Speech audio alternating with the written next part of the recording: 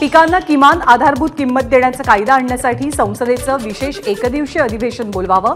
शेतकरी नेते सवर्णसिंग पंधेर यांची मागणी. कर्जमाफीसह शेतकऱ्यांच्या अन्य मागण्या मान्य करण्याचाही केंद्र सरकारकडे पंधेर यांची विनंती. पुढच्या शैक्षणिक वर्षापासून म्हणजेच दोन हजार पंचवीस आणि सव्वीस सालापासून बोर्डाच्या परीक्षा वर्षातनं दोनदा घेतल्या जातील. केंद्रीय शिक्षण मंत्री धर्मेंद्र प्रधान यांची घोषणा. दोन पैकी ज्या परीक्षेत सर्वाधिक गुण मिळतील ते गुण अंतिम मानले जातील. कोस्टल रोड मजबूतीच्या परीक्षेत पास.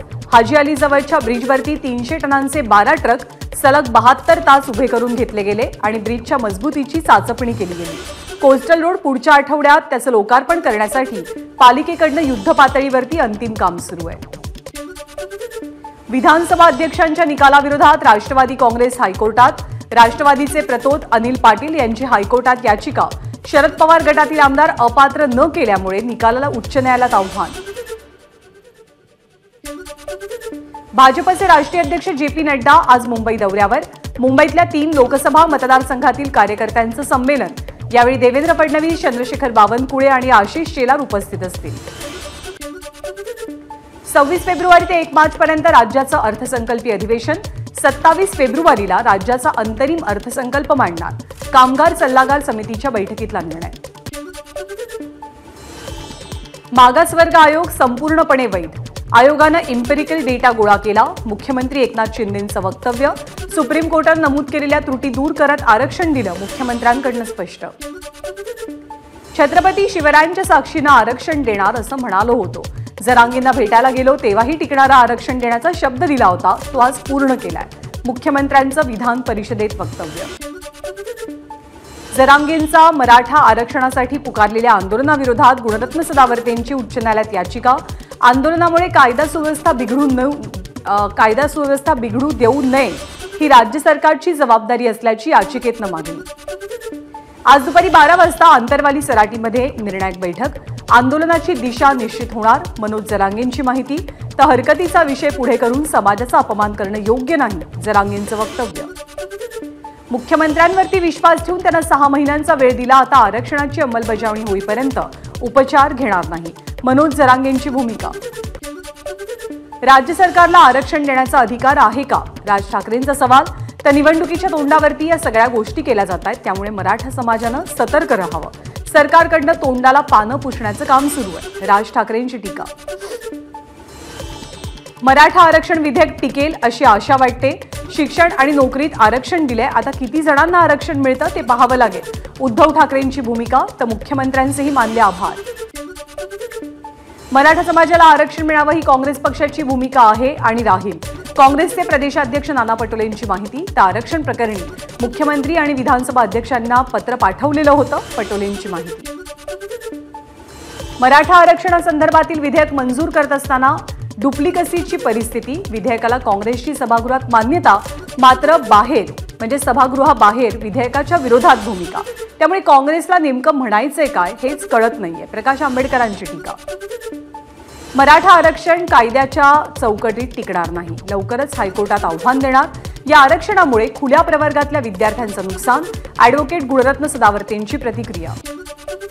मागासवर्ग आयोगाचा अहवाल बोगस दिलेलं आरक्षण कायद्याच्या चौकटीत टिकणार का? याबाबतीत राज्य सरकारनं स्पष्टीकरण द्यावं प्रकाश शेंडेंची भूमिका. मराठा समाजाच्या मागासलेपणाचं सर्वेक्षण करून मराठ्यांना आरक्षण लागू केल्याबद्दल विशेष आभार आणि कौतुक. संभाजीराजे छत्रपतींची प्रतिक्रिया तर आरक्षण कोर्टात टिकवण्याची जबाबदारी पार पडावी संभाजीराजेंचं वक्तव्य.